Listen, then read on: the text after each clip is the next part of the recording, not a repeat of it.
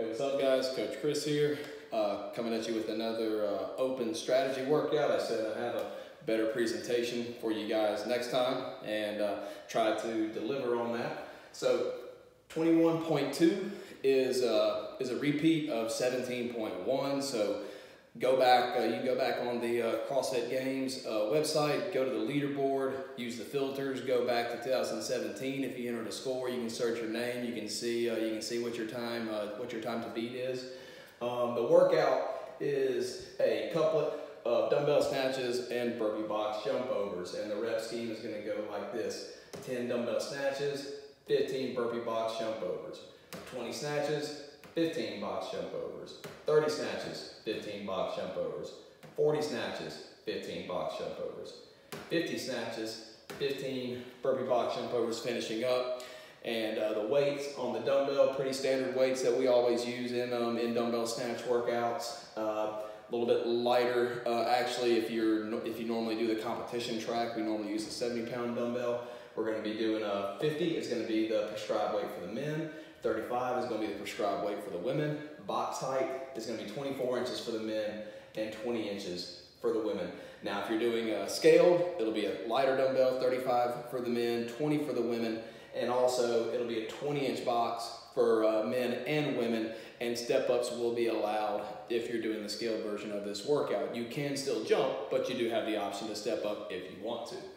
Okay, so uh, let's talk about some uh, some key points here. This is a different type of workout than uh, last week. Last week was a brand new uh, brand new movement with the wall walks. These are all these are two very familiar movements, and also last week was uh, more of a, a test of um, test of muscular endurance. You know, like it really it didn't matter.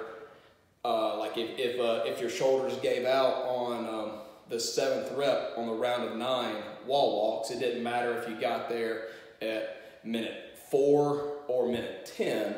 Uh, it was a, that was going to be where the uh, where the shoulders uh, where the shoulders gave out. So it was actually kind of in your advantage to push a little bit harder on the front end to have more time to work on those bigger sets. This is going to be a little bit uh, a little bit different, and we'll go over that in the strategy here in just a second.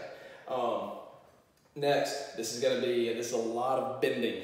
Okay, if um if you're somebody who tends to you know lean over a lot to do these uh, to do these dumbbell snatches, I would really recommend trying to sink your hips, keep your chest up as much as you can, uh, so that you're not going to be bending over quite as much because you still have to bend over to do the uh, to do the burpee and if you don't have a, you know, just excellent squat mobility and you can't land on top of that box sitting in a squat, you're going to bend over when you land on top of the box too.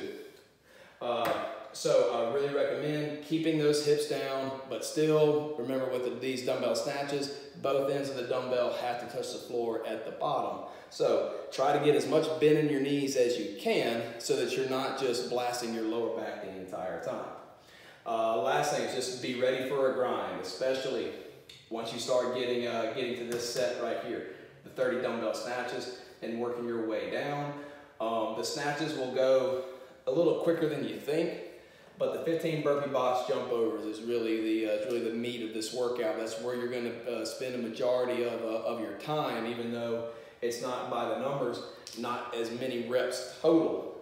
But you got to think about it still it's 15 burpee box jump overs, but what it really is is 15 burpees and 15 box jump overs. It's 30 reps, really not 15. So you're to be on doing those uh, for a while, and you got to just be ready to kind of get into a groove and just kind of uh, work through that grind as best you can.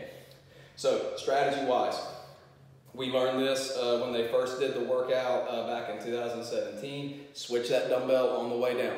Don't switch it at the floor.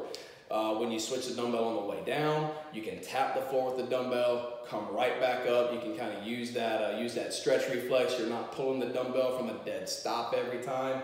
So when you're bringing that dumbbell down, what I like to do is try to keep the dumbbell straight up and down this way so that when I drop it, that top head of the dumbbell hits my hand and I don't have to worry so much about it slipping out or uh, grabbing it uh, wrong or anything like that hits the top of my hand, let my elbow down, and then I can go touch the floor and come back up with it. Okay, next, uh, pace the burpees. Um, and the best way to do that is you put your hands on the floor.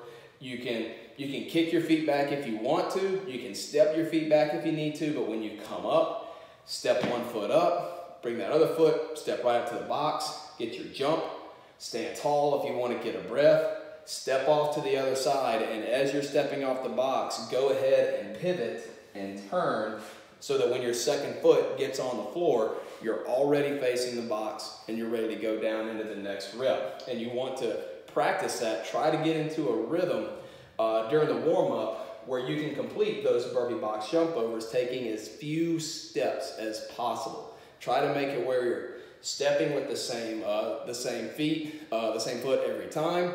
Um, actually, I'd say maybe switch it up, step up with the right on one, uh, on uh, one rep, step up with the left on the other one so that you're not turning in a circle. But if that doesn't bother you and you'd just not have to think that much about it, step up with the same foot every time, you'll be good to go. Lastly, break up the dumbbell snatches before you uh, try to slow down on the burpees. Like I said, this is uh, the burpees is where you can uh, where you can lose the most time. That's where you're going to be spending a majority of the workout more than likely. So once you start getting into these big sets of dumbbell snatches, the 30, the 40, the 50, that might be where you want to take some extra breaks because you can put the dumbbell down, take a couple of breaths, do 10 dumbbell snatches real quick, probably in the amount of time that it would take you to rest and do one burpee box jump over. Okay? So you want to think about trying to attack those uh, burpees where you keep the reps moving moving quickly, but you but you take some rest. But on those burpee box jump overs, you treat it like if you were going for a 400 meter run. You run just hard enough to keep moving, but not getting to the point where uh, where your heart rate just spikes so much that you uh, that you start slowing yourself down. So there it is, guys. 20, 21.2. Uh, it's going to be great. Going to be a lot of fun. Uh, good luck tomorrow, and we'll see you later.